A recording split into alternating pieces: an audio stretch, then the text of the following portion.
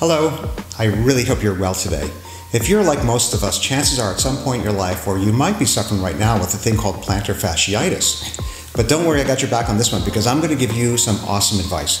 I'm going to give you my own personal research and almost three decades experience as a practitioner on how to fix this thing. And so I'm going to start with how to identify the problem, then we're going to go into how to treat it, and then we're going to finish off with how to make sure this never happens again. Fair enough? Here we go. Okay, so fortunately, or maybe unfortunately, we have a, a client here today who's suffering with uh, heel pain, and uh, she agreed to do this video with us. Her name's Jane, and appreciate your appreciate your your support, Jane.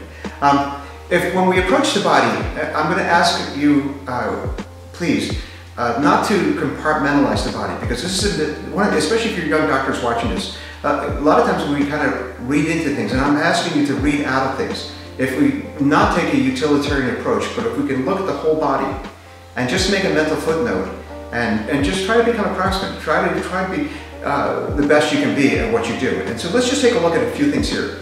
Uh, just a few general observations. If we look at Jane's foot, it's flaring out to the right here. Her right knee's kind of going in and right hip is going back. The right leg is pulling back. So we're going to make a mental footnote of all these things and then we're going to start looking a little closer towards the problem. Okay, so before we get started, I just want to orientate you with the structures or the major players involved with plantar fasciitis. As you can see here, I just put a mark here, and that's the hallmark of where the pain generally is with, with plantar fasciitis. If you have it in both feet, or if you have swelling in the feet, or pain in the, in the, the, the back here, or in the big toe, chances are it's not plantar fasciitis. It's something you, you might want to have a little bit more investigation on, have it checked by somebody.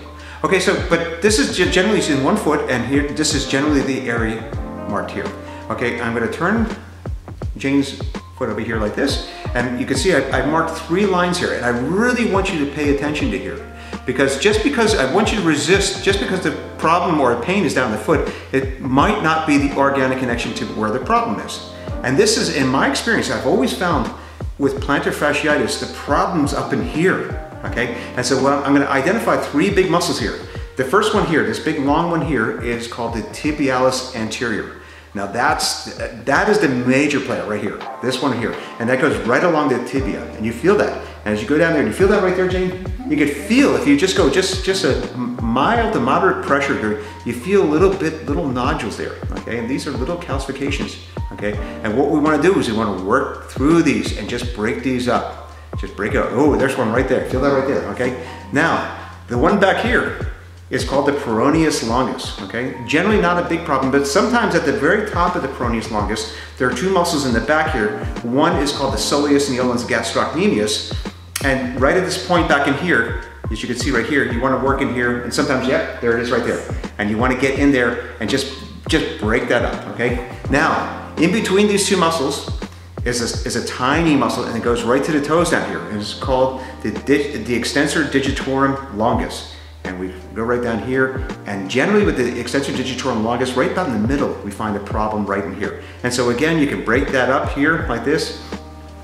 Some people use apparatuses. One, one way is you can get a tool, anything, a metal bar like this, bit of lotion, and you can just get in here and just, just gently work these things out. Work these things out, okay? And you feel a little bit of gristly there. Can you feel that right there? Yeah? Okay, you just work that out, just stretch it out. These things are quite pernicious and you want to keep at these. And, but I promise you, if you, if you just work on this area here, feel around, be very specific. Nothing's dynamic unless it's specific. Feel where that nodule is, get in there and break that up. Okay, break that up and break that up. If you keep at this for a couple weeks, if you did this every day, for a few minutes every day, massive improvement and should, should take this problem away. Okay? Now we have Jane face down and we're gonna look at the muscles on the back of the leg. And the two muscles, as I mentioned earlier, is the deeper one is called the soleus and the one on top is called the gastrocnemius. And all I, what I want you to, do, these are generally not major players in plantar fasciitis, but you want, you want to investigate this. So you want to just run your finger along here and see if there's any nodules or calcification. And generally with the with the with these two muscles, it's down at the base, down in here. You can feel, and I don't know if you feel that, Jane, right there, big nodule right there. And again, you want to just kind of work that out, break this up, work this is, work this out, work this out here like that, okay? I'm gonna turn this over here and then you can see on this side over here, same thing. The, the line between the, the gastrocnemius and soleus muscle. And again, generally in this case, it's down at the base here. And you feel that right down in here. And we're just gonna break that up and work that out. Okay, so this is how we address this. You want to feel it right here, right at the belt line, and this is where the hip is rotating back here like this. And so what I did was I, I got a dish towel, a small face cloth or something like that, right at the belt line. You want to put that in there on the one side, in this case her right side, and she just lies back on that and that balances the hips out and it retrains the muscles and the feet are pointing straight up. How does that feel? Really good. Fantastic. And this is real simple. You could do this 10 or 15 minutes a day, and this will help retrain your pelvis into the right orientation. Okay, so the next thing we're gonna do, and this is one of my favorites, this is lymphatic work, and this is this goes back, this has been memorialized for thousands of years, and the ancient Greeks used to use sandbags to move the lymphatics. And remember, there's more lymph in your body than blood. And so what we wanna do is we wanna compress, we wanna create a biological vacuum in the body and that has amazing healing properties. And so what I did was I went to a local chemist or drugstore and we bought these bandages, right? We're gonna start at the toes and we're gonna work our way up. We're gonna leave it on for about five or 10 minutes and then take it off, move around. And then we're gonna keep repeating this process two or three times just to get this thing going. This is something you can do every day and it's fantastic. It has, the, you'll get the best results out of this alone.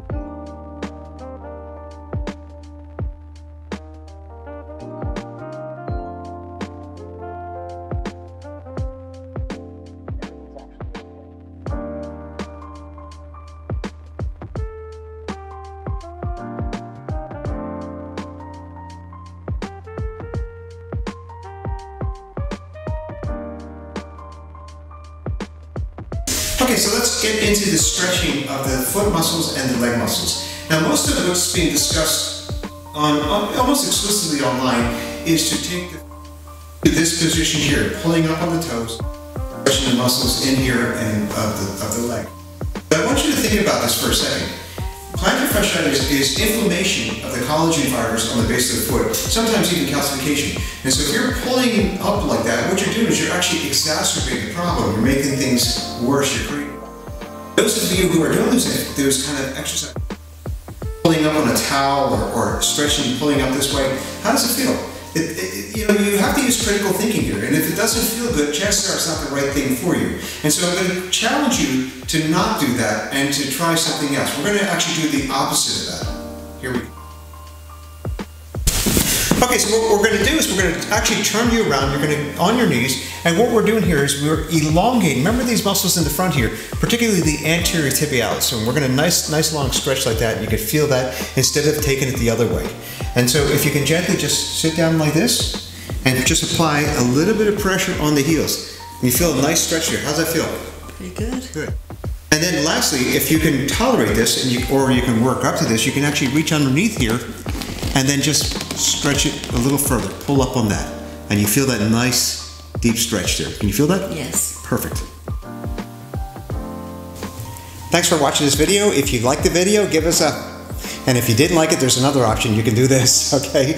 Take care. We'll talk to you real soon.